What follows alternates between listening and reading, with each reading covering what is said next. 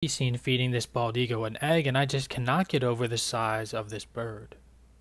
Bald eagles could actually grow up to 3 feet in height and also have a 7 feet wingspan and this is just absolutely insane to think about because this is bigger than some toddlers.